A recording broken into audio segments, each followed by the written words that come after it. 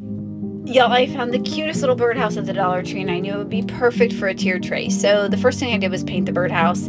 And then once that was dry, I put Mod Podge on the roof because I wanted to iron on this buffalo plaid napkin. Wait until you see how cute this is at the end of the reel. It is adorable.